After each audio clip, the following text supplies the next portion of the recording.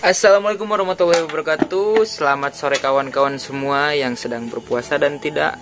Semuanya selamat sore. Hari ini saya dan rekan saya Argi Muhammad Jatnika akan pergi ke Dharma. Mau ngebuburit sekalian Mau melihat eh, keramba Bagaimana sih eh, pengelolaan ikannya Dan bagaimana eh, penanaman ikannya. Dan pokoknya ada hal apa dan hal seru seperti apa yang akan kita dapat di sana. Ngabuburit produktif bersama kami. Ikuti terus ke Waduk Dharma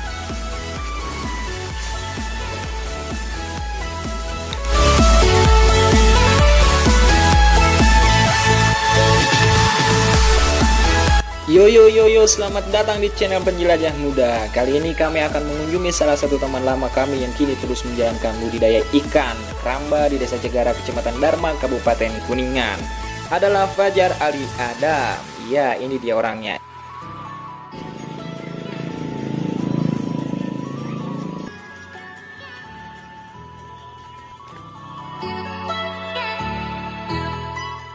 Oke guys, sekarang penjelajah muda sudah ada di eh, Dharma dan kebetulan kita juga sudah bertemu dengan salah satu pemilik keramba yang ada di eh, waduk ini. Dan Kang kita- Fajar namanya. Eh, iya Kang Fajar dan kita akan melihat eh, kerambanya seperti apa, ikan apa yang dia pelihara, akankah hiu atau ke paus kan Eh, kita tidak tahu dan Mual ayah tuh di Waduk Dharma. Oh, malah ya sudah. Tapi eh, oke bara- bagi para kalian kaula muda ini juga rekomendasi banget ya untuk ngabuburit karena eh, suasananya adem, bisa sambil mancing, bisa sambil melihat pemandangan dan juga bisa eh, menggali ilmu dari para peternak ikan di sini.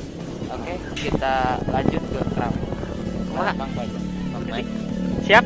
OTW? Aman ya? Bismillahirrahmanirrahim.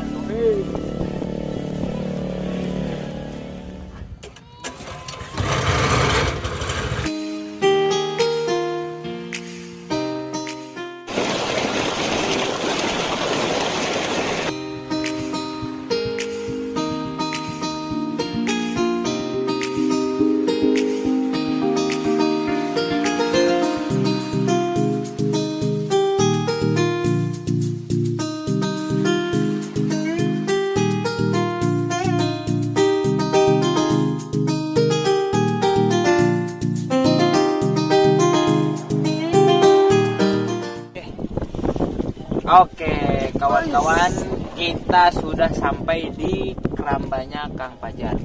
Dan banyak juga terdapat keramba-keramba lain punya orang ya. Iyalah punya orang masa. Eh, dan jujur, saya selama hidup di Kuningan baru pertama kali ini eh, apa? Me- apa menginjakan kaki di keramba eh, yang ada di tengah-tengah Waduk Dharma ini. Kalian sudah pernah atau belum tulis di kolom komentar.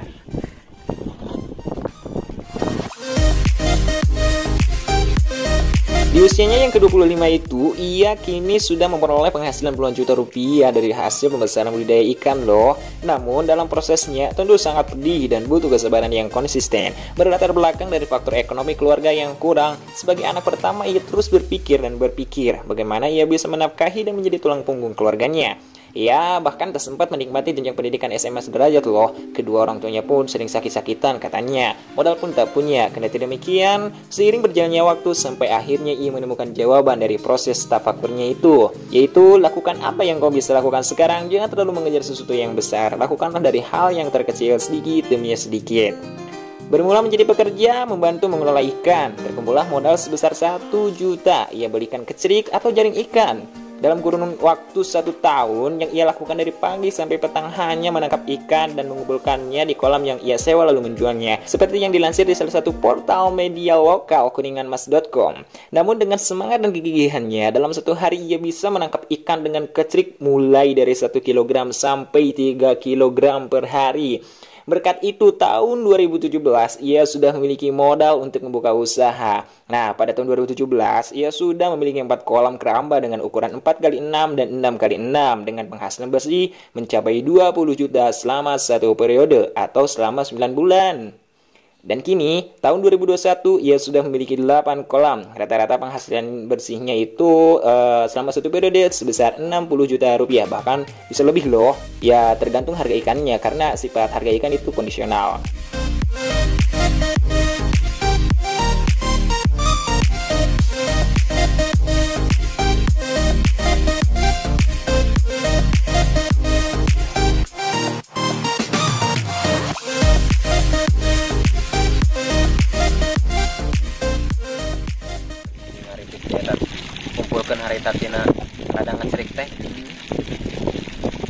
Digolangkan terus.